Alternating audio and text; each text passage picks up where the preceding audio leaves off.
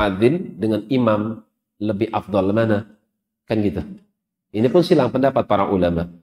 Namun yang paling kuat wallahu a'lam bissawab adalah imam. Kenapa?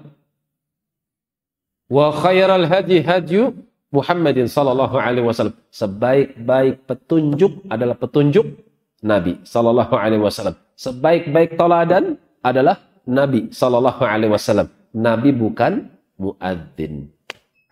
Tapi siapa beliau? Imam. Liyalini minkum ulul ahlam wan nuha. Dan hendaknya orang yang ada di belakangku kata Nabi itu adalah orang-orang yang memiliki akal dan agama. Jadi yang di belakang imam bukan anak-anak kecil, bukan orang sembarangan. Di belakang imam itu VIP, orang-orang yang punya hafalan, orang-orang yang tahu ilmu fikih. Lagi sujud imamnya kentut. Kabur tuh imam. Ya kalau di belakangnya nggak ngerti gimana? Ini imam khusyuk banget sholatnya. Ini doa apa sih? Lama banget dia sujud.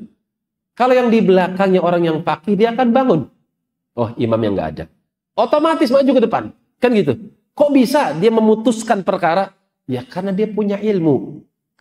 Dia punya ulun nuha. Dia punya pandangan, dia punya kecerdasan. Karena itu yang di belakang imam adalah orang-orang tertentu, bukan orang sembarangan.